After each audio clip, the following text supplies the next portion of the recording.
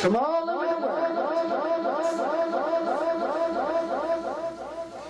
have been discussing the status of one of the planets in our solar system. Is it a planet? Is it not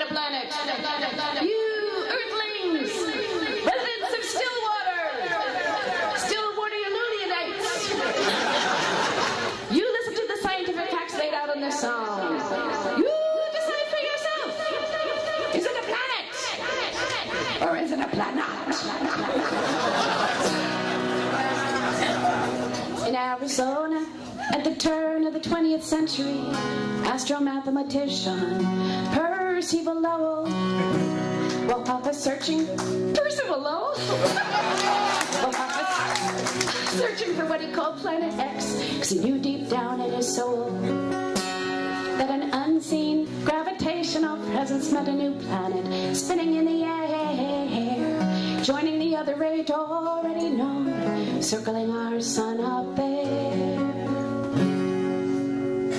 But Percival Lowell died in 1916. His theory, only a theory, till 1930 when Clyde Tombaugh, in a scientific query,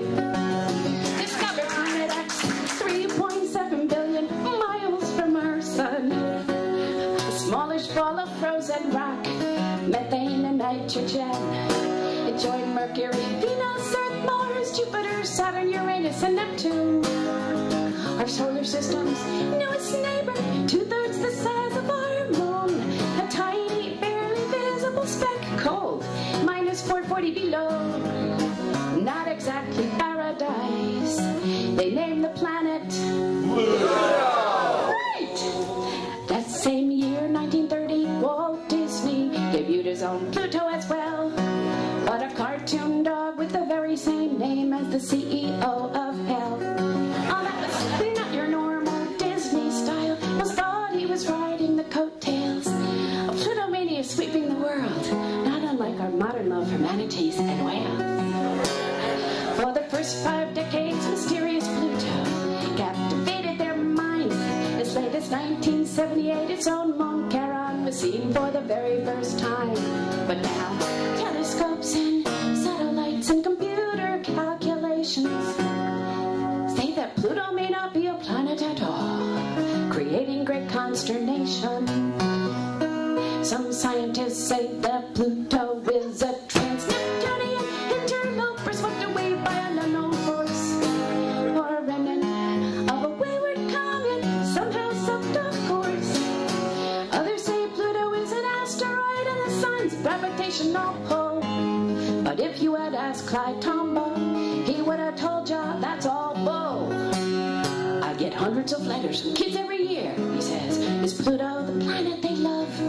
It's not Pluto the comet, it's not Pluto the asteroid. They wonder about above. And at the International Astronomical Union Working Group for Planetary System Nomenclature, and that is a real club. They too say Pluto is a planet reinforcing Clyde Tombaugh's view of nature. Norwegian Carrie Exnes, professor at the Theoretical Astrophysics Institute. He too says Pluto is a planet, and a significant one to boot. But at the University of Colorado astronomer Larry Esposito says if Pluto were discovered today, would not be a planet. End of discussion, finito. Now I'm going to take a break in the middle of the song here because I got to bring it up to date. I wrote this song in 1997. It was based on a newspaper article that was written March 4th, 1996 in USA Today. And this newspaper article predicted 12 years before it happened, 11 years before it happened, that Pluto was in danger of being demoted, and sure enough, Pluto has been demoted to the status of dwarf planet. Now, I got all these phone calls from people thinking that I was way ahead of the curve on this, but it wasn't me. It was the writer from USA Today. And the thing is, I had never actually gotten his name. I just hadn't written it down. I was in San Francisco when I found the article. So I emailed somebody I knew at USA Today. And it turns out, uh, 30 minutes later, I got an email from Sal Rubal. He's a sports writer at USA Today. He was never a science writer, but he loved the story of Pluto. And it was just a passion of his. And so I told him, because I went on uh, NPR and they did a whole thing about Pluto, and I said, find it, I can tell the world it was you. You were the man ahead of the curve. And I said to him, my one sadness about the song is that I, I sang it everywhere for like 11 years, and I so much wanted it to turn into a sing along, and it never did. And a girl can dream, can't she? So he said, Wait, let me put this down.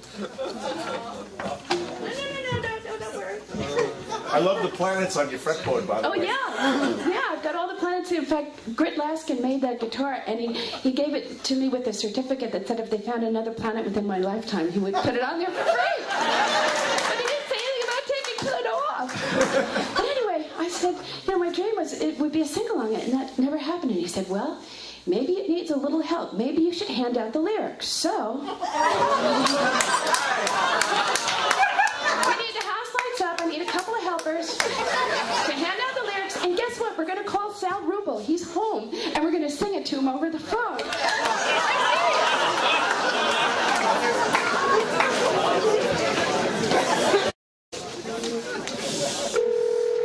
Hello, Hey, Sal, is that you? it's me. Hey, Sal Rubal, it's Christine Lavin. I'm in Stillwater, New Jersey at the Folk Project Spring Fest. Say hi to everybody. Hello! That's the audience saying hi to you, Sal. You want to say hi back? No, hello, everybody in New Jersey. So, Sal, I just sang half the song, and I told them how you wrote it, and that you're a sports writer. So before we finish the song, we're all going to sing it to you. I'm just. wa- I can hear you very clearly. You to hear the whole audience? Yeah. They're not. They're not loud enough. That better? Didn't me to say that.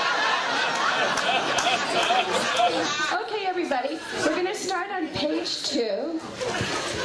It's after end of discussion finito. We're going to pick it up from he says that Pluto was definitely not spun off. Okay. After discussion finito. Here we go. He says that Pluto was definitely not spun off.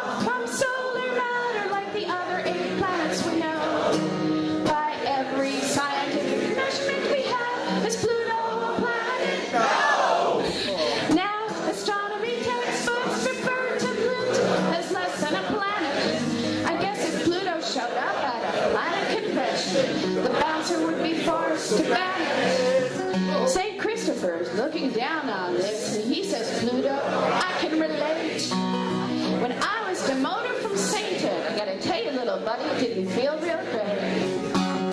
And Scorpios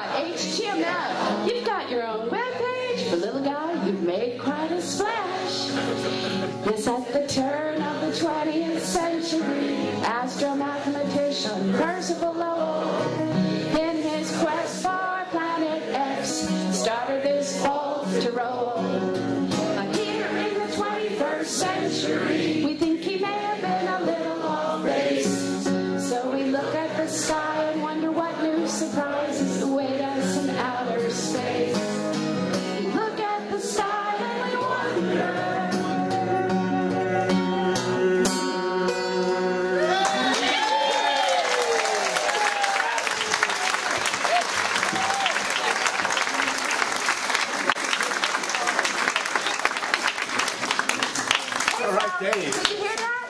Yes, it was wonderful. Perhaps the best version I've heard uh, this week.